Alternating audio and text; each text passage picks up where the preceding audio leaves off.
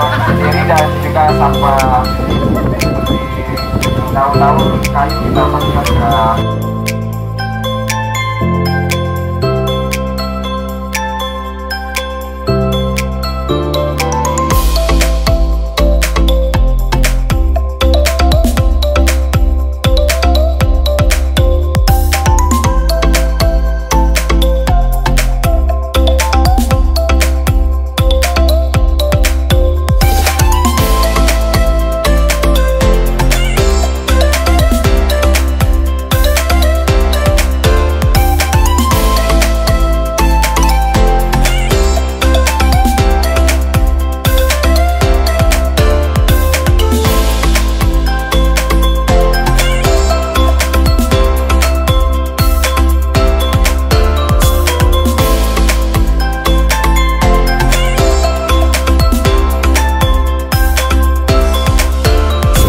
Himbau juga kepada masyarakat, mari kita jaga tempat ini, tempat yang luar biasa indahnya. Kita jaga kebersihan, jangan eh, membuat tempat ini kotor atau rusak sehingga kita bisa menikmati eh, alam ini dan juga bisa menarik investor atau wisatawan-wisatawan ke daerah ini sehingga bisa menunjang perekonomian daerah ini. Jaga kebersihan, tidak boleh buang sampah sembarangan. Kalau datang eh, ke pantai harus jaga kebersihan yang baik. Saya Hamzah dari Ikatan Pemuda Pemudi Marin BTN. Dengan kegiatan ini kami harapkan dapat membawa energi positif untuk eh, kami di kalangan pemuda khususnya agar sadar akan kebersihan pantai dan juga eh, laut.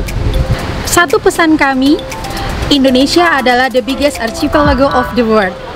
So, laut merupakan komunitas terbesar kita. Jadi, mulai sekarang, janganlah menjadikan laut sebagai tempat sampah karena laut adalah masa depan kita. Hai semuanya, saya Nana perwakilan dari Perempuan Muda K berharap dengan adanya agenda bersih-bersih pantai ini semoga ke depannya Perempuan Muda K lebih paham dan lebih sadar pentingnya kebersihan lingkungan dan bisa membantu seluruh masyarakat K untuk lebih cinta terhadap lingkungan. Ayo sama-sama bersihkan pantai. Eh, saya Aris dari komunitas Kaki Bajalang berharap kegiatan eh, bersih-bersih pantai dan laut ini menjadi eh, pemicu semangat anak-anak muda K agar terus menjaga kebersihan eh, di mana pun mereka berada bukan hanya pantai dan laut tetapi di lingkungan tempat tinggal masing-masing. Kami dari Polikan Diving Club, eh, harapan kami ke depannya adalah agar masyarakat, khususnya pemuda-pemudi K, agar lebih menjaga kebersihan lingkungan, terutama laut, karena laut adalah masa depan. Pesan saya kepada masyarakat kepada kita semua eh, jangan buang sampah di laut karena kita di Maluku khususnya mayoritas kita di Kei sini itu eh, hidup dari hasil laut dan juga potensi wisata laut kita di sini sangat eh, menjanjikan olehnya itu marilah sama-sama kita jaga laut kita agar tetap bersih dari sampah. Yang saya harapkan semoga ke depannya akan lebih baik dan semua perempuan menye- sadar akan kebersihan. Janganlah membuang sampah sembarangan dan buanglah sampah pada tempatnya karena kebersihan sebagian daripada iman. Nah, harapan kami ke depan agar seluruh masyarakat Kota Tua sadar akan kebersihan akan lingkungan khususnya di pantai-pantai. Dapat lebih sadar akan pentingnya kebersihan alam sendiri. Karena di sini pantai dan laut merupakan salah satu sumber daya alam yang paling besar di Indonesia bagian timur. Sekian dan terima kasih.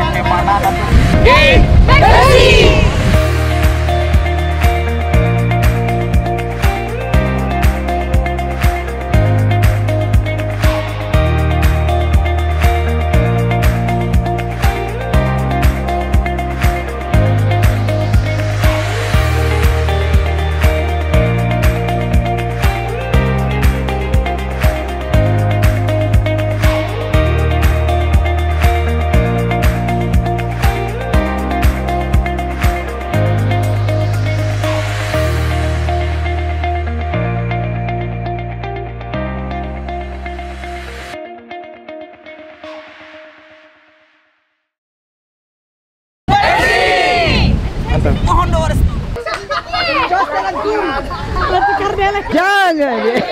Udah sana ya? Sudah, sudah, sudah. Sudah. Konser baru api deh. Satu.